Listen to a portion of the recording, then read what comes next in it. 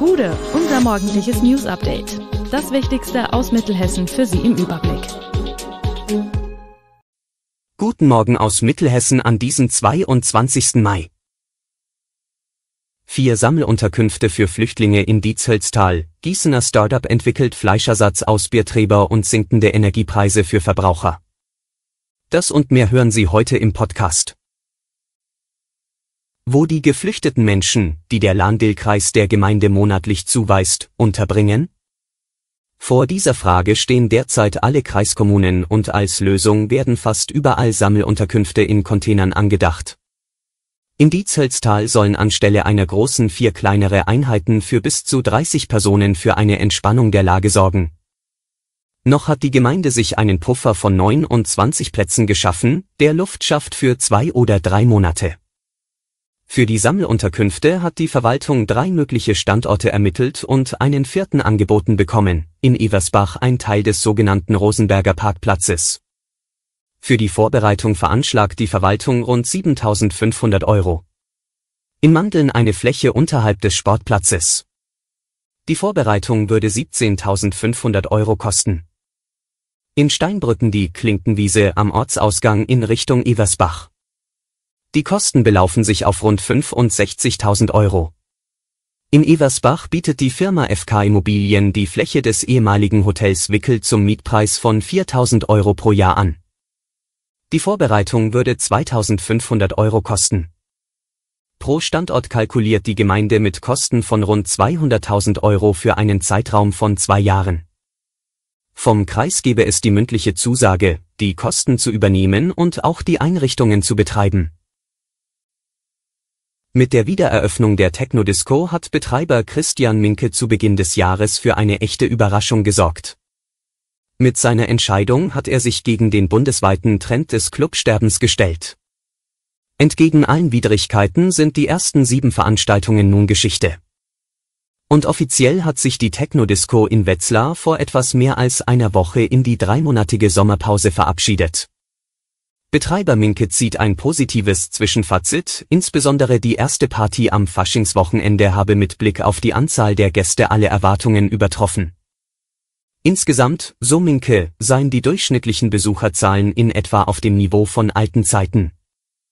Das Ordnungsamt der Stadt Wetzlar berichtet auf Nachfrage der Redaktion allerdings von zwei Personen, die sich aufgrund der Lautstärke mehrfach beschwert haben.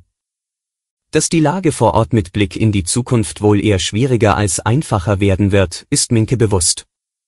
Noch in diesem Jahr sollen Dutzende Eigentumswohnungen am Lahnhof fertiggestellt werden, die teilweise nur wenige Meter von dem Eingangsbereich der Technodisco entfernt sind. In deutschen Brauereien entstehen jährlich etwa zwei Millionen Tonnen Bierträber. Dabei handelt es sich um die Rückstände des Braumalzes, die oft als Futtermittel in der Landwirtschaft verwertet oder entsorgt werden.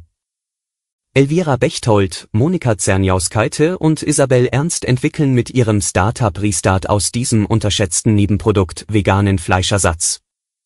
Dafür bekamen sie gerade beim Start Me Up Capital Contest von Justus Liebig Universität, JLU, Technischer Hochschule Mittelhessen, THM und Marburger Philipps Universität den Publikumspreis und weckten das Interesse gleich mehrerer potenzieller Investoren.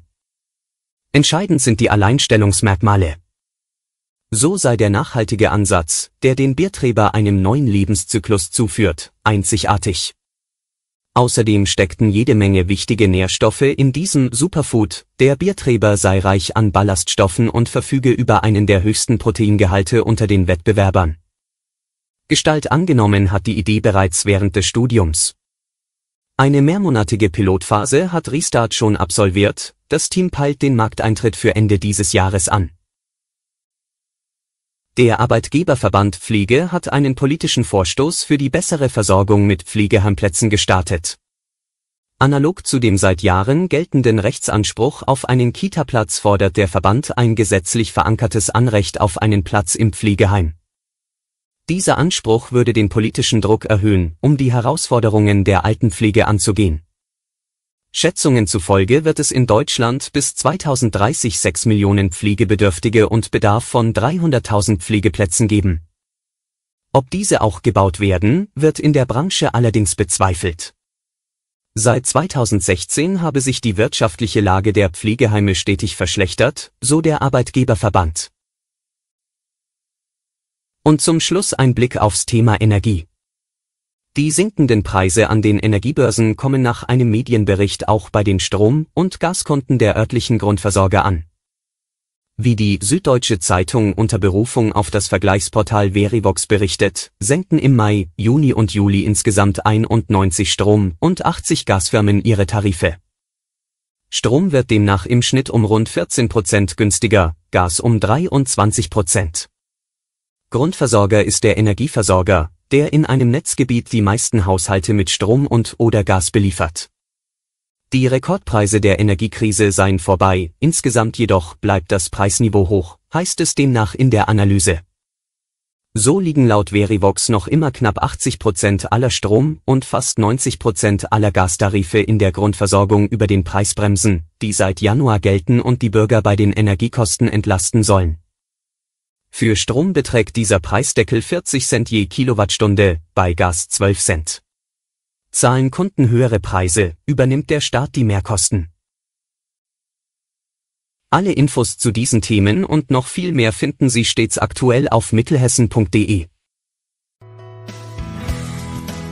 Gute Mittelhessen ist eine Produktion der VRM von Allgemeiner Zeitung, Wiesbadener Kurier, Echo Online und Mittelhessen.de. Redaktion und Produktion die NewsmanagerInnen der VRM. Ihr erreicht uns per Mail an audio.vrm.de.